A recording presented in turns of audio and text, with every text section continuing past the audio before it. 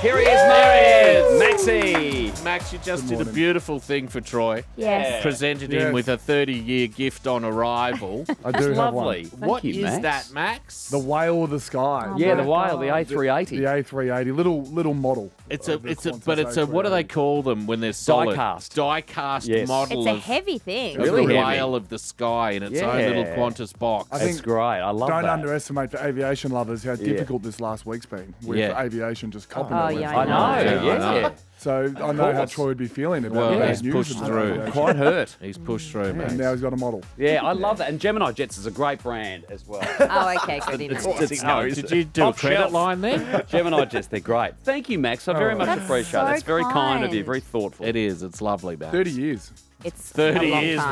mate, in this incredible. business is like Yeah. a thousand years in normal jobs. It is, but it's been it's fun. pretty- I've loved every second of Uh, it. you, well, because you're brilliant. And the Oh, only thank you, reason buddy. you, last 30 years in an industry is like this is, is if you're a good person Is and why? sober, which I'm not. I'm neither of those things. I'm a bad person and I'm drunk. no, you're not. But you're not. Um, mate, Max, well done. Another Yes, win. We'll win. We'll Yeah. win. And Great another blinder for you. 14 1600 plays 9 8 62. Yeah, they kicked a few late on us, which we weren't over the moon with. I think they they were sitting at five goals, I think, for a lot of that third and fourth quarter. Um, no, I, th- I thought there was some outstanding efforts yesterday. We were missing Jake Lever uh, for the first time in a while, and Adam Tomlinson came in and played his role. Tom McDonald looked like the Tom McDonald of old down in the back line. Um, Christian kicked two again. Christian Salem was actually Yeah. um, really, really good. Had 30 odd touches. So Do you know I think Christian Petracca's lost a bit of weight? is that your, yeah? I think his bum's slimmed down. And I'm not even kidding. I had a good look at his bum last night Yeah. when he was standing We there. don't- I thought, he's lost a bit of junk from that trunk. We don't, we don't comment on, on people's weight. Oh, that's right.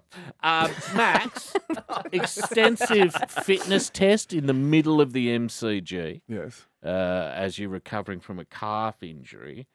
Any chance that you were going to miss last night? Because I think, were you saying the goody was already saying you're out? Uh, it was a it was a weird sort of uh, day. I um I got a cork in my calf in the West Coast game, so Mm. just the week before, and it just took a while to sort of get over.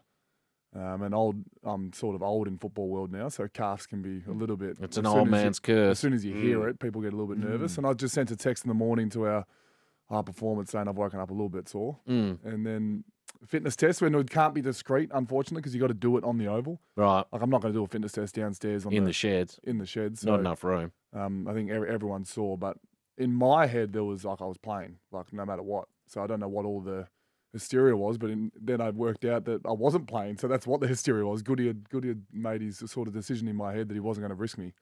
Oh, Um, jeez, but that's a then- big call. Little did he know that I sort of came back and I'm like, oh no, it was I'm right. yeah, it was fine.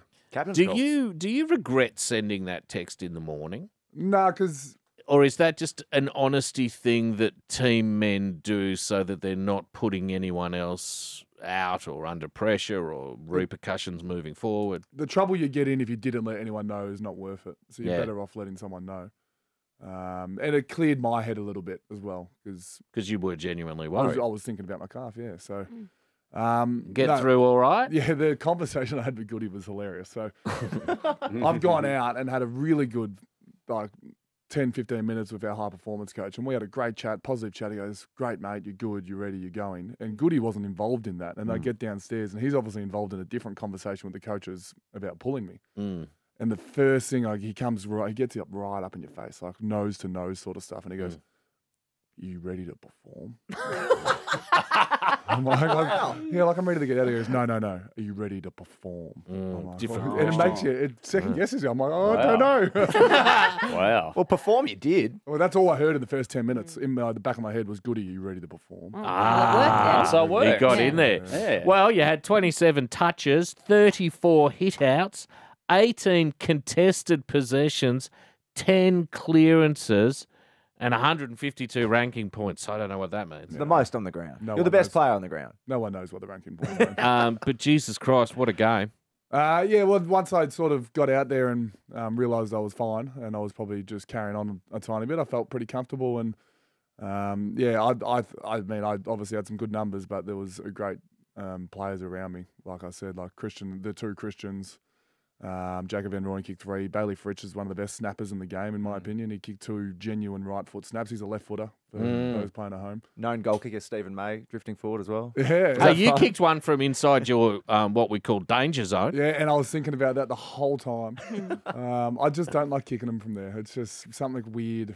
Yeah. I'm really watching your tap ruck work now. Are you? I'm really watching Okay. it. And what have you got for me? It's brilliant. Thank you. Uh, I mean, I know I'm stating the obvious, but when you get a clean run at the ball, which is not every opportunity, your control and the way that you tap either to space for someone to run onto it or to the man is phenomenal, Max. We always worry about going delving too much into ruck work Uh, at eight in the morning, but uh, um, I, I've recently rucks have been able to grab it a lot more, and I still feel like the art of actually getting it to your midfielder is a much better clearance.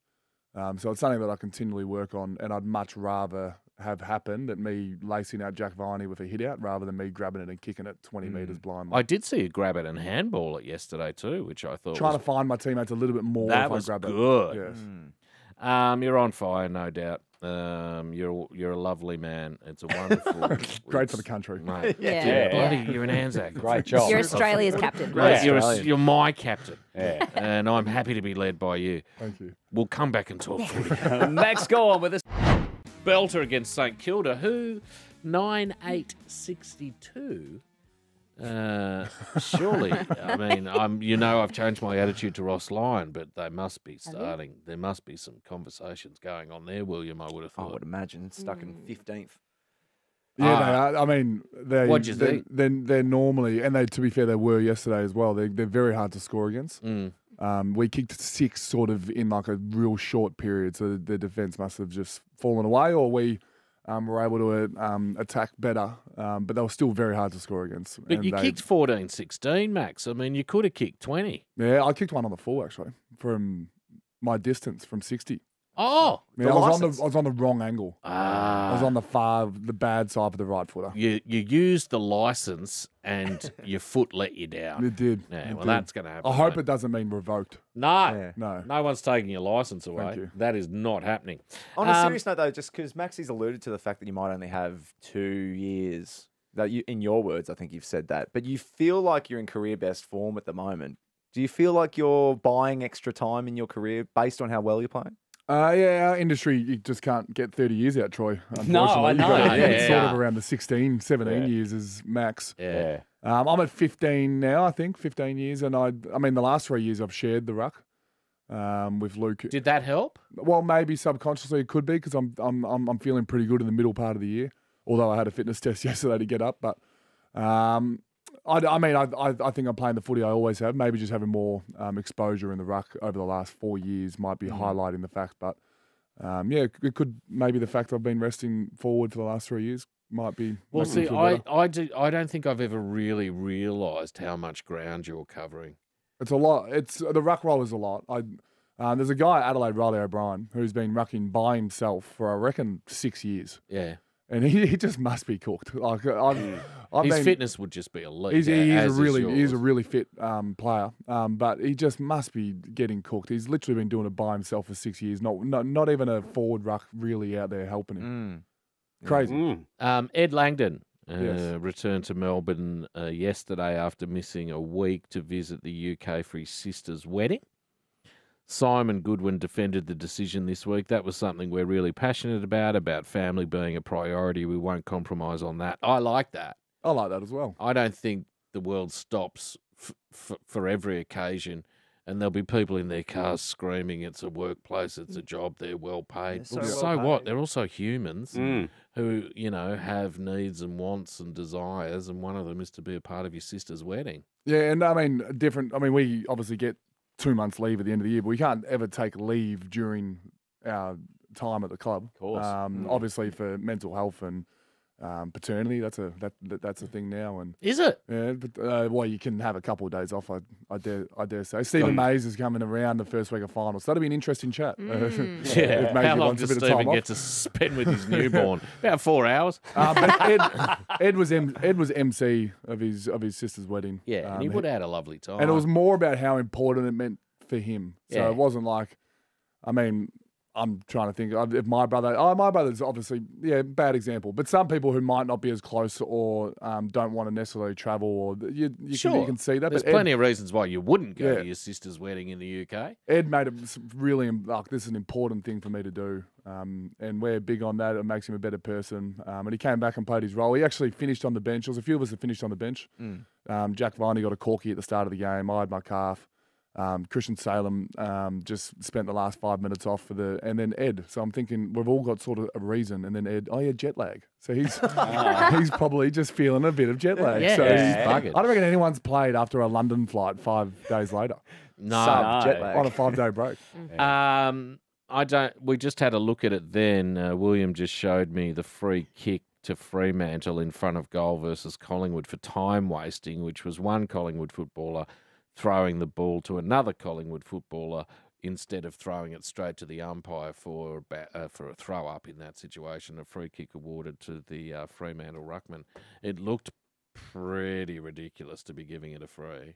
It's it's it's not great vision. I agree with that. It looks like it's just very mundane, like a normal thing has happened and it's weirdly been picked out. But I do know that's a rule.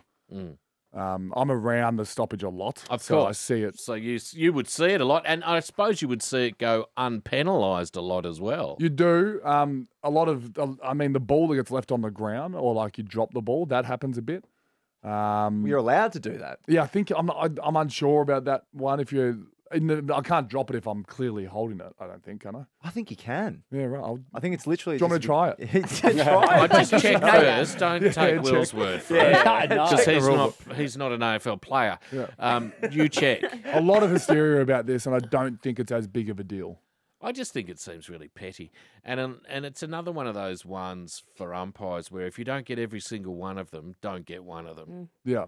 That, uh, but that, yeah. I mean, they've got to get all umpires unified, uh, u- u- unified or united Because or one. the, the one you get is twenty meters out.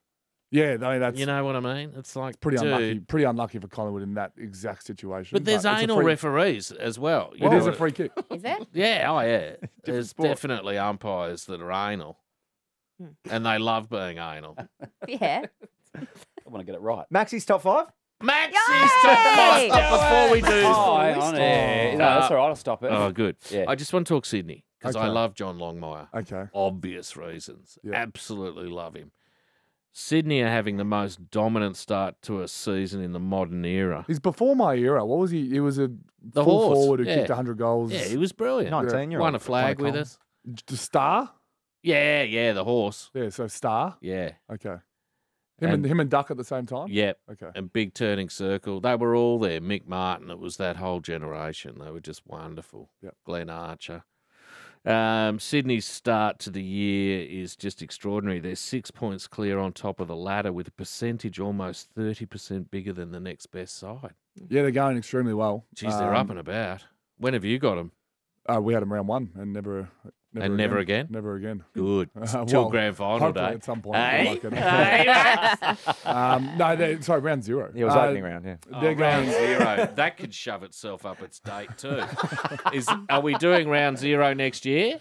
Uh, I mean, I love the concept. I didn't like losing. Um, No. But yeah, no, Sydney are going really well. It's it's really important that you're going well at the end of the year, but they're showing all things that they'll be going well throughout Mm. the whole year. We were 12 and 0 uh, after winning the flag, or 11 and 0 after winning the flag. That's and, right. And then we went out in straight sets. So it's pretty. It's really important to get going for the back end, but it doesn't. It certainly doesn't hurt being 10 and 1 for a percentage almost double everyone else. Yeah. Um, all right, it's time for Max's top five. Yes. Just brought a list in. My top five. We've got the Top five. Top five. Max Gawn's top five. Let's go through them.